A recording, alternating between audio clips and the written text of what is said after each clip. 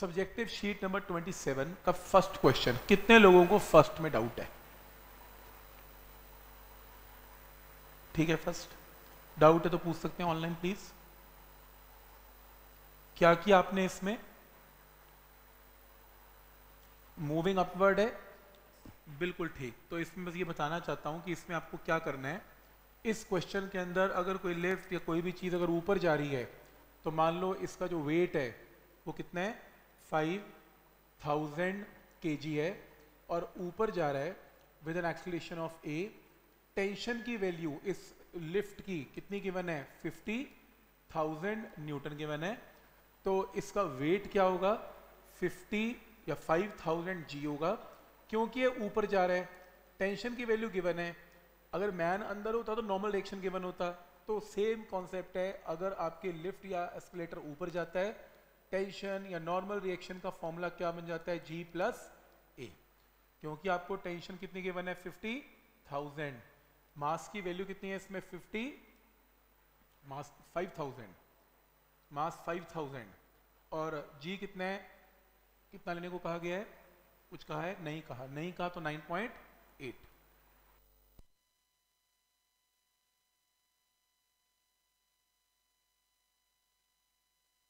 into acceleration plus acceleration तो यहाँ से सॉल्व करके क्या आएगी?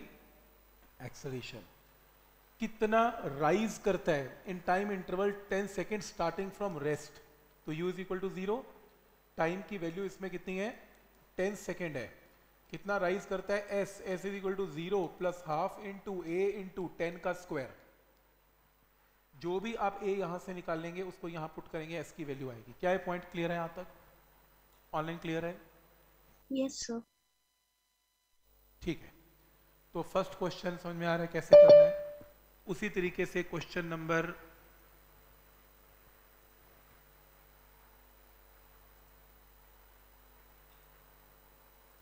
two question number two में डाउट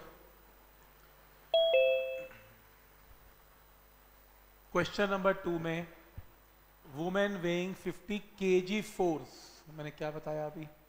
इसका जो वेट है वेट वो कितना है?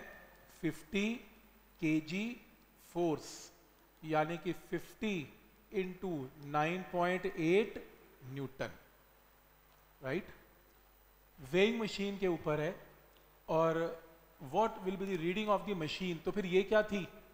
ये इसका कौन सा वेट था? ये इसका एक्चुअल वेट था। इसको एक और फ़ायदा है। ज़रूरी नहीं है कि देखती 9.8 कन्वर्ट कर लें। आप मुझे मुझे ये बताएँ कि अगर एक्चुअल वेट 50 केजी की फोर्स है तो बताओ यहाँ से देखते हुए इस क्वेश्चन में मास कितना गिवन है? 50 केजी वो क्यों? क्योंकि ये तो जी है ना 50 केजी तो क्या है पॉइंट क्लियर है? तो मास की वैल्यू कितनी है इसमें? 50 केजी तो यहाँ से ये भी पता लगता है कि वुमेन का वेट अगर इतना होगा वो मास निकालना है तो ये जो कोफिशियंट आएगा, वो ऑब्वियसली क्या होगा? इसका मास होगा। तो मास गिवन है और ये इसकी एक्चुअल वेट की वैल्यू है।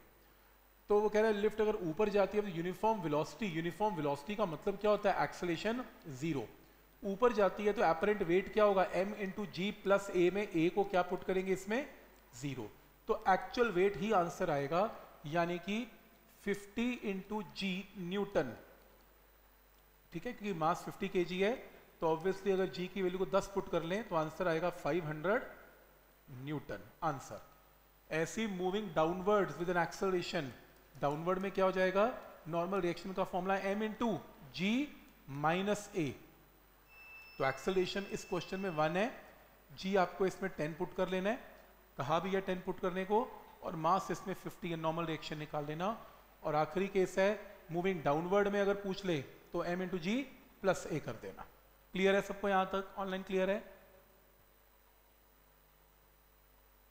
Yes sir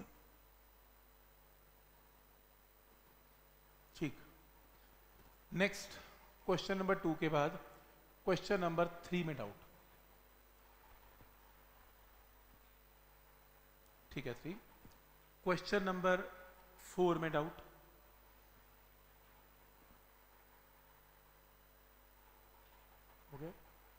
ऑनलाइन हो गया।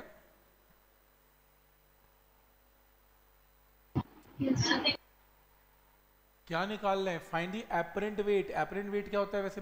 पूछा जाए तो नॉर्मल रिएक्शन एपरेंट वेट का मतलब नॉर्मल रिएक्शन नॉर्मल रिएक्शन और वेइंग 49 केजी ऑन अर्थ यानी कि मास की वैल्यू आपको गिवन है lift which is rising with an acceleration of 1.2 तो अगर इस मैन को लिफ्ट में डाल दें और एक्सलेशन कितनी है? 1.2 मीटर पर सेकेंड का स्क्वायर तो नॉर्मल रिएक्शन की वैल्यू क्या होगी? राइजिंग के केस में m into g plus a तो normal reaction will be equal to mass की वैल्यू कितनी है? 49 nine into nine point eight plus one point two is the answer निकाल लेना, इतने न्यूटन आपके पास आंसर आ जाएगा।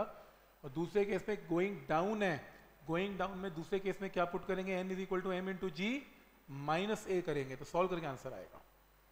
और आखिरी केस में अगर एक्सलेशन अगर वेलोसिटी फॉलिंग फ्रीली ये पहला पार्ट है।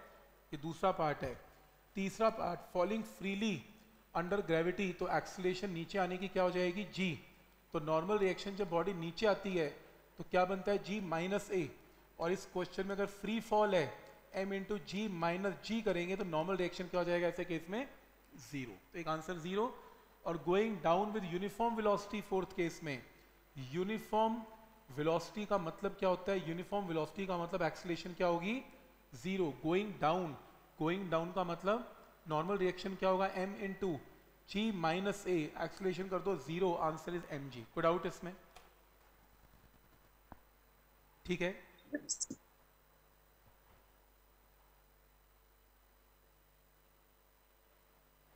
ठीक. क्वेश्चन नंबर फोर के बाद क्वेश्चन नंबर फाइव फाइव में डाउट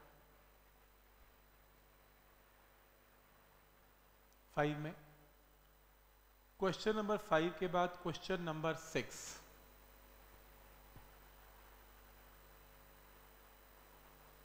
Question number seven. देखो, क्वेश्चन नंबर कौन सा? सेवंथ तो क्वेश्चन नंबर सेवंथ में स्ट्रिंग ऑफ़ पैराशूट ये पैराशूट की स्ट्रिंग है, ऊपर पैराशूट होता होगा। और मैक्सिमम टेंशन आपको मैक्सिमम टेंशन की वैल्यू दे रहा है, वो कितनी है? 72 केजी वेट मतलब मैक्सिमम टेंशन की वैल्यू है 72 two into nine newton. By what minimum acceleration can a person of 96 kg? तो ये पर्सन है 96 केजी। तो डिसेंड नीचे आना चाहता है मिनिमम एक्सलेशन के साथ क्या होगी? ये क्वेश्चन है। देखो, कोई भी लिफ्ट नीचे आए, कोई भी पैराशूट नीचे आए तो लिफ्ट में नॉर्मल रिएक्शन है और पैराशूट में टेंशन है। तो जब नीचे आता है तो फॉर्मूला क्या यूज़ करेंगे? एम इन टू जी माइनस है तो पहला स्टेप सबको क्लियर है कि जब पैराशूट नीचे आएगा तो ये टेंशन की वैल्यू होगी। तो टेंशन की वैल्यू क्या होगी? M g minus m a अब मुझे एक चीज़ बताओ कि जो टेंशन है इसमें मास की वैल्यू कितनी है? 96 six into nine minus ninety six into कितनी? एक्सलरेशन मुझे साफ़ पता लग रहा है कि ये टर्म तो इस क्वेश्चन में क्या है? बिल्कुल ही कांस्टेंट है। तो ये बताओ कि अगर ये वाली टर्म को आपको मैक्सिमम करना है, ज़्यादा से ज़्यादा तो इस टर्म को कम से कम करना पड़ेगा। कम से कम क्योंकि जितना कम होगा ये कांस्टेंट है तो अपने आप ये टर्म ज़्यादा हो जाएगी। इसीलिए उसने अगर टेंशन को मैक्स बोला तो एक्सेलरेशन को क्या बोला क्या निकालनी है? मिनिमम ये स्टेप समझ में आ रहा है ये मिनिमम एक्सेलरेशन की वर्ड बात क्यों कर रहे हैं?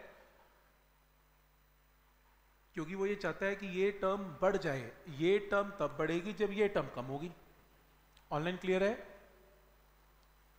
Yes तो मैक्सिमम टेंशन की वैल्यू क्वेश्चन में गिवन है। 96 into nine point eight minus ninety six into a minimum तो यहाँ से सॉल्व करके ए मिनिमम की वैल्यू निकाल लेना आंसर आएगा। ठीक है यहाँ तक?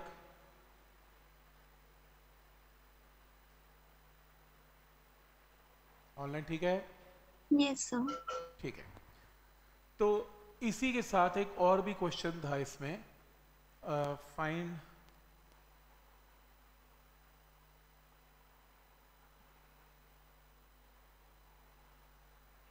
चलो, आ जाएगा अभी।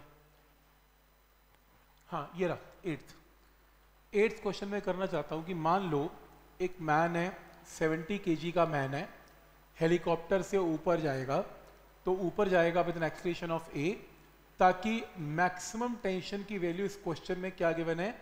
मैक्सिमम टेंशन 100 केजी वेट है। केजी वेट का मतलब मैंने बता दिया 100 को 9.8 से मल्टीप्लाई करेंगे तो आपके पास क्या आ जाएगा? मैक्सिमम टेंशन न्यूटन में आ जाएगी, ये। बाय व्हाट मैक्सिमम एक्सलेशन इस बार मिनिमम नहीं मैक्सिमम पूछा है। तो इसको ऊपर लिफ्ट किया जाए ताकि ये रस्सी टूटे ना। देखो लिफ्ट का केस है हेलीकॉप्टर पैराशूट सब एक ही बात है। जो टेंशन होती है, जब लिफ्ट ऊपर जाएगी तो m into g plus a होगा। क्या स्टेप क्लियर है फॉर्मूला नीचे जाएगी तो टेंशन क्या होगा? M into g minus a ऊपर जाएगा तो m into g plus a tension की वैल्यू यहाँ पर क्या होगी? M g plus m a अब मुझे ये पता है मास मैन का कितना है? सेवेंटी के है सेवेंटी इंटू कितना? Nine point eight plus seventy into a साफ़ कैलकुलेशन ये बता रही है कि अगर ये टर्म को आपको मैक्सिमम करना है तो इस टर्म को भी मैक्सिमम करना पड़ेगा ताकि दोनों का एडिशन ज़्यादा ज़्यादा आए। इसलिए उसने इस बार टी मैक्स के कॉरस्पॉन्डिंग आपको क्या पूछा? ए मैक्स क्योंकि लिफ्ट कहाँ जा रही थी या हेलीकॉप्टर या चीज़ कहाँ जा रही थी? ऊपर। उसको पता था ये सम प्लस में आएगा। तो आपको टी मैक्स की वैल्यू क्वेश्चन में गिवन है। 100 hundred into nine point eight is equal to seventy into nine point eight plus seventy plus seventy into a max तो सॉल्व करके किसकी वैल्यू आ जाएगी? ए मैक्स की। निकाल लेना आंसर मेथड सबको क्लियर है यहाँ तक? ठीक।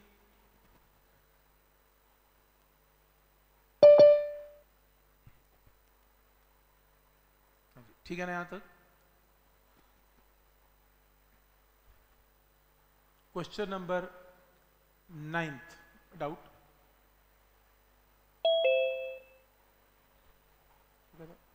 ninth कितने का हो गया?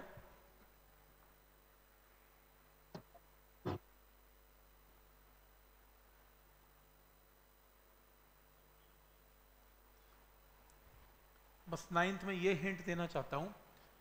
कि आपको केबल के अंदर वही टेंशन निकालनी है, केबल नीचे या ऊपर जा रही है, या तो T is equal to m into g plus है या g m into g minus है फॉर्मूला तो पता है। एक्सलरेशन नहीं दे रहा। वो कह रहा है कि जो ये लिफ्ट है, वो इनिशियल इनिशियल वेलोसिटी इसकी कितनी गिवन है 20 मीटर पर second. Is brought to rest तो फाइनल वेलोसिटी की वैल्यू इसमें क्या हो जाएगी? ज़ीरो और कितनी देर में? After covering a distance of 50 metre तो ऐसे क्वेश्चन में by applying v square minus u square two a s final velocity zero initial velocity 20 का square two into acceleration into fifty तो एक्सलेशन यहाँ पर माइनस फोर आएगी because lift रुक रही है तो इसमें रिटार्डेशन होगी। अब क्योंकि लिफ्ट नीचे जा रही है, आपको इसमें टेंशन निकालनी है इसकी लिफ्ट की तो एक काम करो, क्योंकि लिफ्ट कहाँ जा रही है? डाउनवर्ड्स डाउनवर्ड का मतलब है टी का फॉर्मूला एम इंटू क्या लगेगा जी माइनस ए अब आपको टेंशन निकालनी है मास क्वेश्चन में 800 हंड्रेड के जी गिवन है जी 9.8 है माइनस एक्सलरेशन यहाँ पर माइनस फोर पुट करनी पड़ेगी, क्योंकि यहाँ पर ए नेगेटिव है तो माइनस में माइनस पुट करो आंसर यहाँ से आंसर आएगा. ठीक है यहाँ तक? ऑनलाइन क्लियर है? यस सर ठीक नाइन्थ के बाद क्वेश्चन ठीक है डन